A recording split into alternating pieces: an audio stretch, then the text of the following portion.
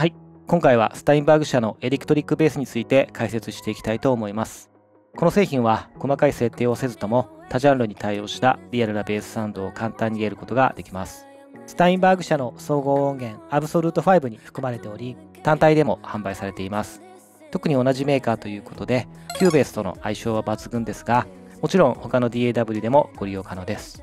この動画では基本的な機能と使い方についてサンプル楽曲を用いて解説していきますので、ぜひ最後までご覧ください。スリープフリックスの YouTube チャンネルでは DTM に有益な情報をお届けしていますので、ぜひチャンネル登録をお願いいたします。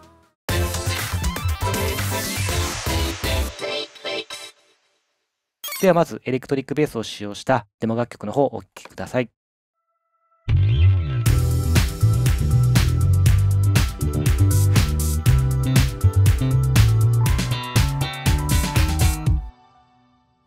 このように楽曲を支えるベースサウンドを非常にリアルに打ち込むことができます。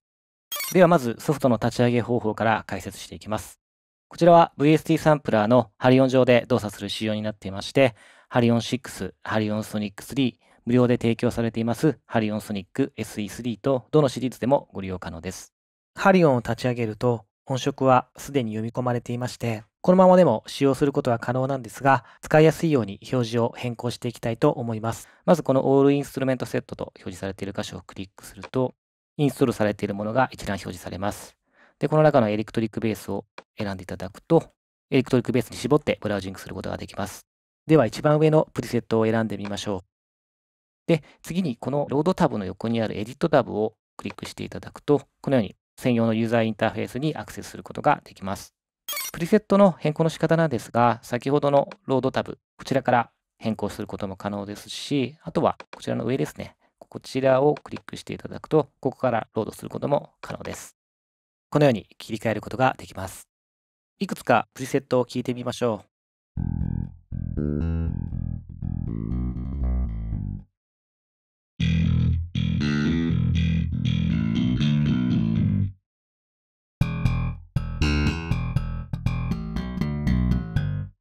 このように様々なジャンルに対応したプリセットが40種類用意されていますので、スムーズに目的の音にたどり着くことができると思います。次に操作画面の概要なんですが、こちら大きく4つのセクションに分かれていまして、1つ目が音色に関するセクション、ベース本体とアンプとエフェクト、そしてピックアップセレクター、DI アンプ FX のミックスバランス。この3つが音色に関するセクションです。そして2つ目が双方に関するセクション。こちらこの真ん中にまとめられています。で、えー、双方に関するセクションでさらに細かい設定をする際は、こちらの歯車マークをクリックしていただくと、このようにアクセスすることができます。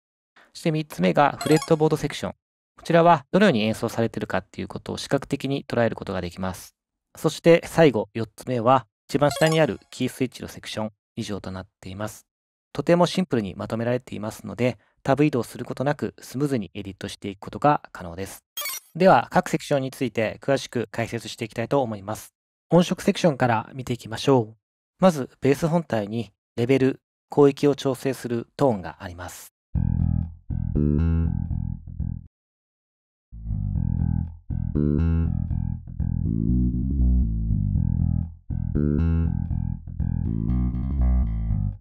ピックアップセレクターは、まずジャズベースタイプ、プレシジョンベースタイプ、ミュージックマンベースタイプとオーソドックスな3タイプのモデルが用意されています。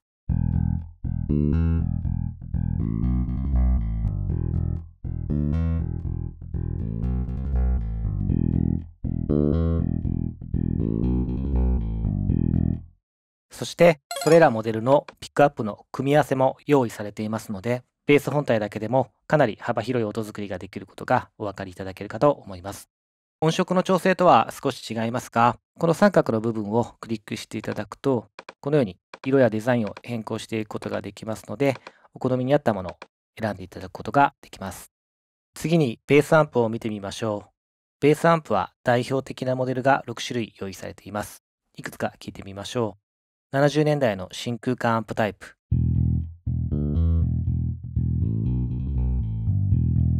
80年代のクリアなクラシックアンプタイプ。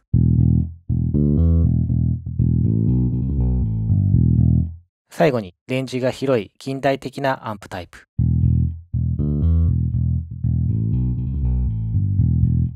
ベースアンプのキャビネットも4種類用意されていまして、こちらでもかなり音の変化が出ます。こちらもいくつか聞いてみましょう。ヴィンテージタイプ。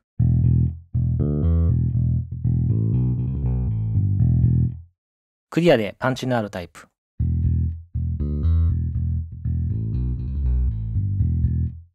このようにアンプとキャビネットを組み合わせることで、さらに幅広い音作りが可能になります。次に FX を見ていきます。FX は12種類用意されていまして、コンプレッサー、イコライザー、歪み系、ワウ系、モジュレーション系、空間系と用意されていまして、このように簡単に順番を入れ替えることができますので、かなり凝った音作りまで対応することができます。音色セクション、最後は DI と AmpFX のミックスバランスです。それぞれ100%のバランスで聞いてみましょう。空気感や音のキャラクターを作る AmpFX。個性は少ないが、ベースのラインが見えやすい DI 音。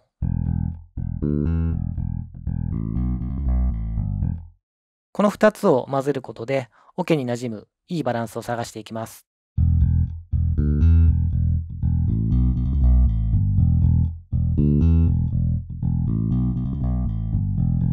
バランスを探すコツですが、トラック数が多い場合はどうしてもベースが埋もれがちなので DI を多めに。バンド系などトラック数が少ない場合は逆に埋もれにくいのでアンプ FX を多めでベースの個性を強調すると良い結果になることが多いです。次に双方の説明に移っていきたいと思います。ここからはデモ音源のベースを題材に進めていきます。まず特殊奏法を全く使用していないベタ打ちの状態をお聞きください。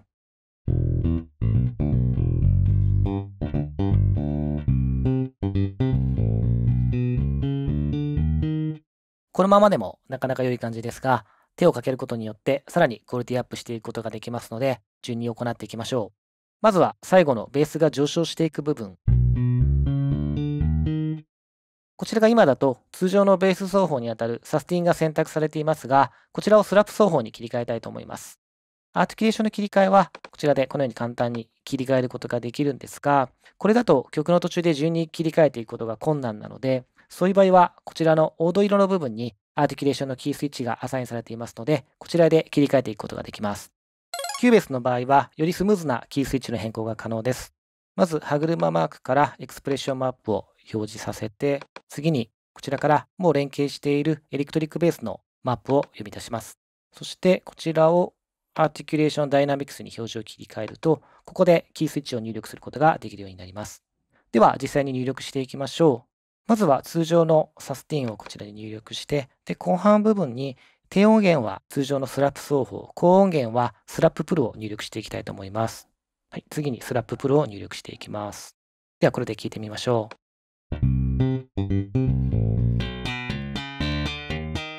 はい、後半部分、双方切り替えることで、より躍動感が出てきました。次に前半部分にハンマリングオンを入れたいと思います。こちらのオートレガートをオンにして、音を入力する際にこのように重ねます。そして2つ目の音が今であればこの B1 が半音3つ以内であればハンマリングオン、プリングオフが自動適用されるようになります。ではまずハンマリングがない状態で聞いてみましょう。はい、次にハンマリングを適用していきます。1つ目はまずこちら、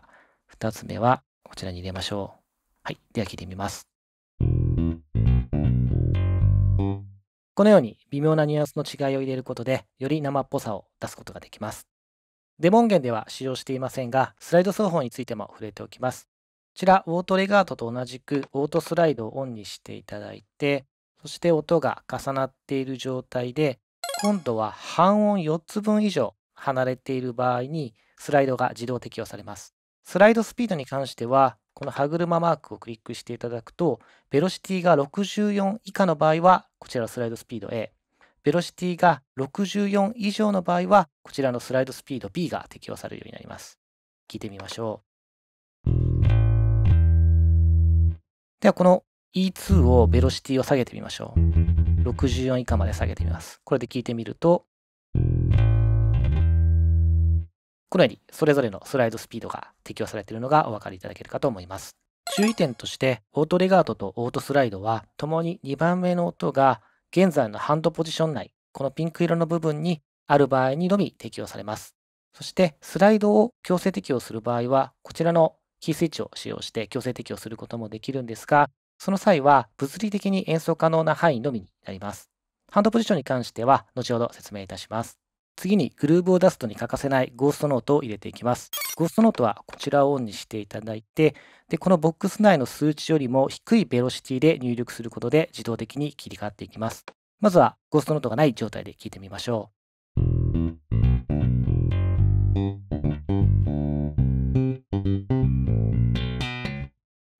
この16の裏にゴースノートを入れます。そしてベロシティを40以下。では全体にゴーストノートを配置した状態で聞いてみましょう。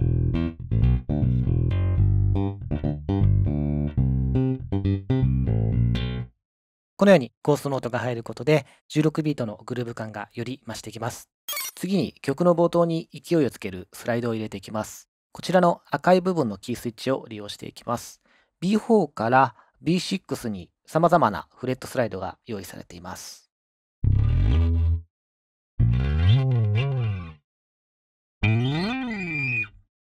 C7 から D シャープ8にはヒットエフェクト、フレットノイズが含まれています。では実際に入れていきましょう。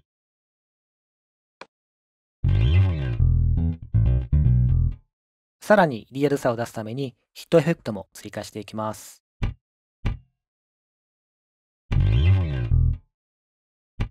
ないと、あると、このように多数用意されているサンプルから複数組み合わせることでよりリアルさが増していきます。双方セクションのラストはデモ楽曲折り返し地点のロングトーンのビブラートです。エレクトリックベースではピッチベンドを利用して再現することができます。まずはビブラートなしの状態。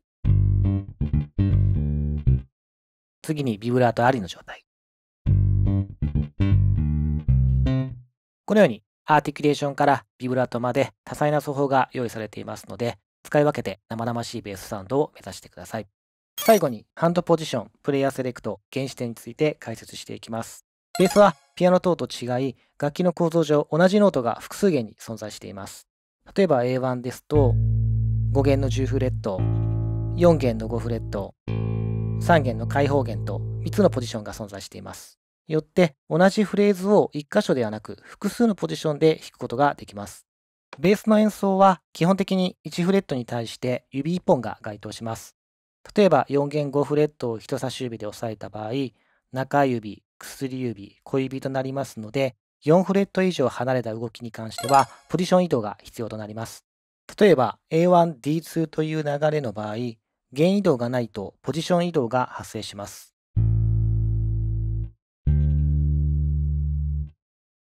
しかし、一つ上の弦で D2 を対応すると、このようにポジション移動がなくスムーズな指の動きになります。このスムーズに指を動かせる範囲をハンドポジションと呼び、フレットボードセクションにピンク色で表示されています。ハンドポジションはジャンル、楽曲、フレージング、プレイヤーの個性等によって変わってきます。ただ弦楽器の経験がない方には非常に設定が難しいんですが、こちらのプレイヤーを選ぶと、各ジャンルに適したハンドポジションを自動適用してくれます。このハンドポジションの動きに着目して聞いてみましょう。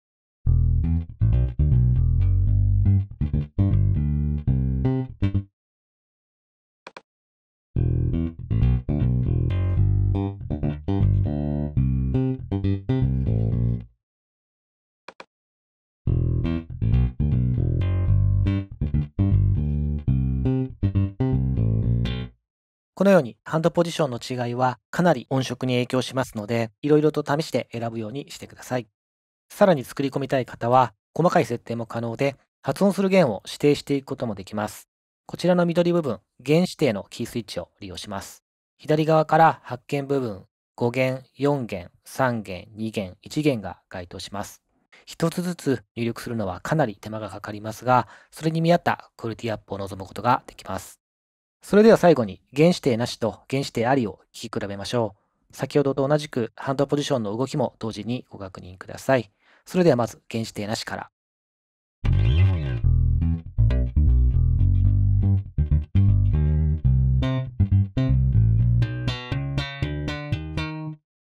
次に原始定あり。